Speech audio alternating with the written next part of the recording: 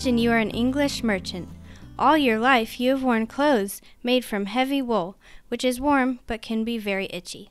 You are traveling to India by ship to bring back unique goods from faraway lands. Your ship is stocked with beads and spices to trade in return. One thought occupies your mind the rumor of a fabric, soft, light, and not the least bit itchy. You've heard it's made from a plant you've never seen before called cotton. A legend has reached you that the flowers of this plant turn into tiny, fluffy lambs. Imagine wool growing on plant instead of on sheep. No one had ever believed such a thing was possible, but you are just about to discover such an amazing plant. You look over the side of your ship and gaze at the endless blue water. Wait, is that a speck of land just on the horizon? India is in sight.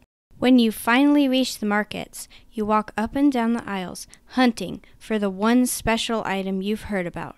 At last you spy it, away in the back. You walk up to the stall, reach out, and gently stroke the neatly folded pile of cloth. You are astonished at the softness. What a comparison between wool and cotton! You've never felt anything like it before.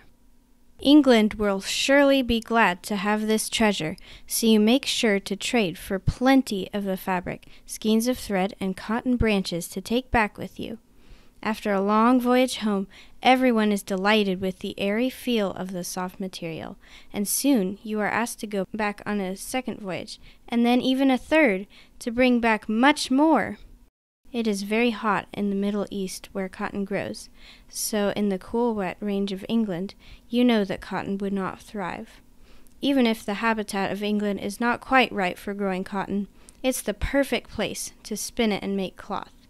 You could never imagine how the British textile industry would grow and change the world, and all because of your readiness to seek out the humble cotton plant. There were many merchants who sailed to India and came back to England with cotton goods. I'm sure none of them just even dreamed how much their voyages would impact the cotton industry. Next to food, cotton is the largest grown crop, and today the industry annually produces $21 billion in goods, when just a few centuries ago, no one in Europe knew anything about cotton.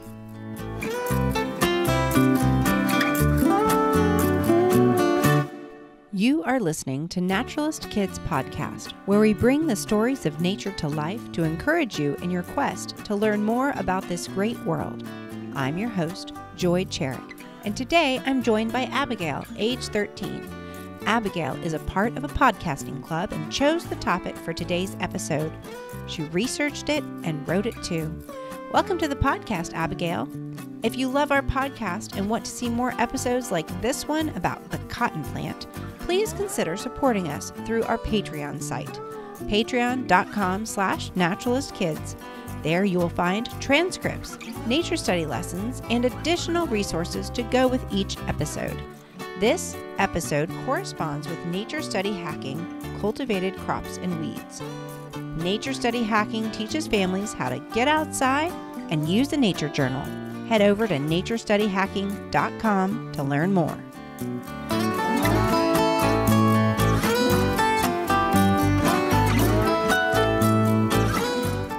Let us consider for a moment what a cotton plant is like.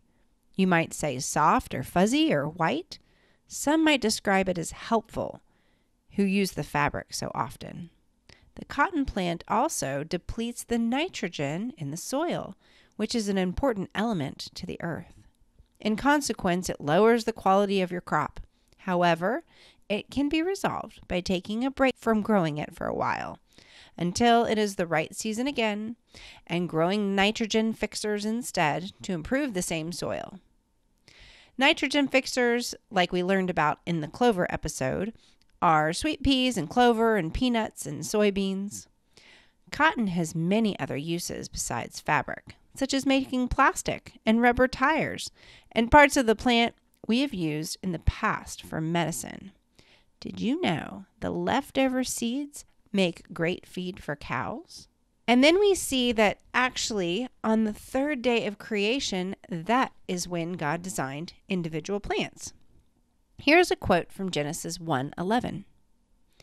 And God said, Let the earth sprout vegetation, plants yielding seed, and fruit trees bearing fruit, in which their seed, each according to its kind, on the earth. And it was so. End quote. Among these plants was cotton, of which we are learning today. The majesty of God can even be reflected in such a small thing, and we are about to reveal God's greatness in His perfect designs. Cotton starts out looking like a flower. Well, it is a flower, until the flower withers, of course. The bud gradually swells up and it bursts open. Once it does that, the cotton appears in four big tufts, with usually three to six seeds hidden inside. It's really the fruit of the cotton flower. The leaves have a distinctly maple like appearance. Some of them have three lobes, some of them have four, some of them have only two. They are kind of an interesting variety if you ever get to look at a live plant. So, Abigail, we learned that the cotton ball has cotton fibers that wraps around each seed. So, can you tell me a little bit how and why? The seeds have fibers for protection, and the individual seed has 10,000 to 20,000 fibers. What was cotton especially known for? Cotton was especially known for its incredible softness. In some countries where cotton never grew, people always wore wool clothing, which can be rough and itchy. Cotton fabric is also stretchy. For instance, when the ambassador of Persia went to India and learned about cotton for the first time, he was so amazed at the softness that he came back with 30 yards of cotton cloth, all squeezed into a coconut shell. So, Abigail, are there any specific bugs that will destroy a cotton crop? The boll weevil is especially aggressive. They will destroy nearly your whole crop by flocking to your farm to eat your cotton. Adults will eat the leaves of the plant, then they mate, and the female weevil punctures the cotton bud to lay her eggs.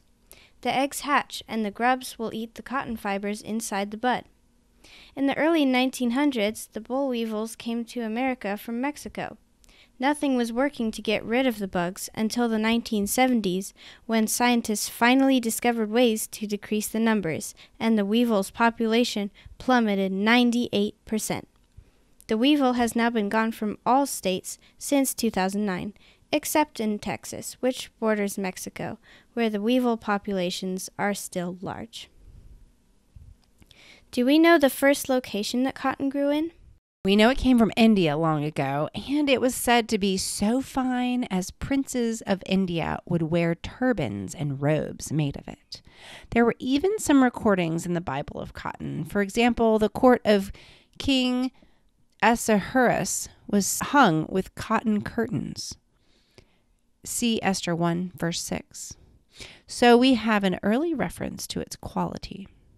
We also know it was cultivated in China but only used at first as a garden flower. So, Abigail, why was the cotton gin invented by Eli Whitney so important?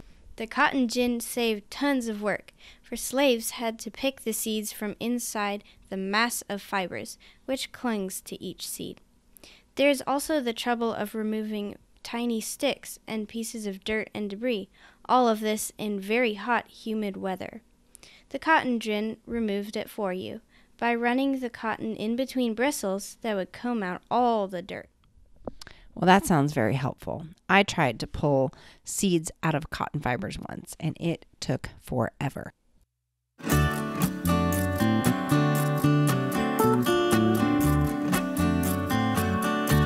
The cotton industry was known for the difficult and industrial work needed for cleaning and spinning and weaving cotton strands into cloth. Here is a fable from Aesop about how important it is for human life to involve industry and not slothfulness. Industry and Sloth by Aesop. An indolent young man, on being asked why he lay in bed so long, carelessly answered, I know two fine girls, one named Industry and the other named Sloth. Every morning by my bedside, I am bombarded with different causes. As soon as I awake, one prays me to get up, and the other entreats me to lie still. And they alternately give me many reasons why I should rise and why I need not. It is the work of an impartial judge to determine what counsel I should listen to, and in the meantime, I should lie here pondering what my day will hold until presently it is time for dinner. The moral is the lazy have more excuses for their sloth than the productive have for their industry.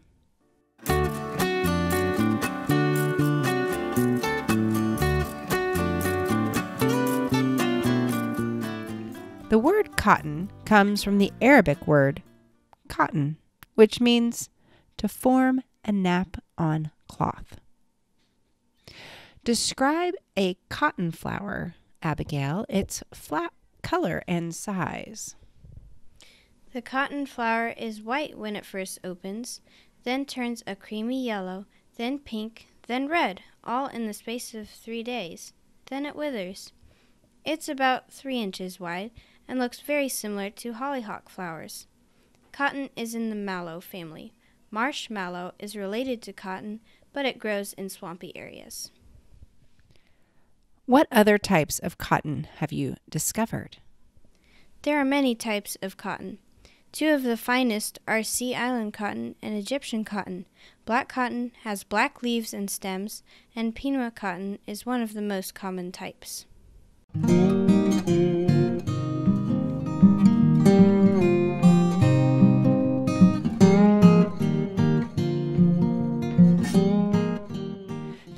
Songs that were sung in cotton fields of the southern states during the Industrial Revolution when cotton farming was a prolific cash crop. We will read you one that became quite famous as the war between the states came to blows. This poem is called Dixieland. Dixieland refers to the United States below the Mason Dixon line that seceded and comprised of the Confederate States of America and almost always includes the Deep South. Here is Dixieland, written by Daniel D. Emmett, written in 1859. Oh, I wish I was in the land of cotton. Old times there are not forgotten. Look away, look away, look away, Dixieland.